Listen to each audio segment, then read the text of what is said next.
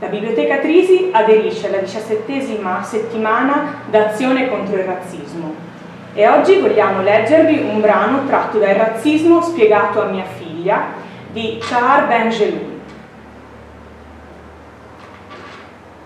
Credi che io potrei diventare razzista?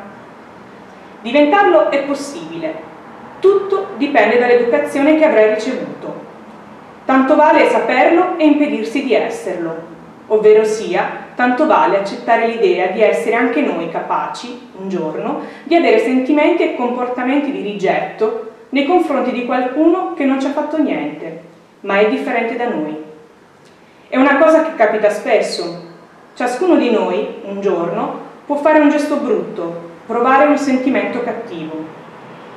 Quando uno è turbato da un essere che non gli è familiare, allora può pensare di essere meglio di lui, Prova un sentimento sia di superiorità sia di inferiorità nei suoi riguardi.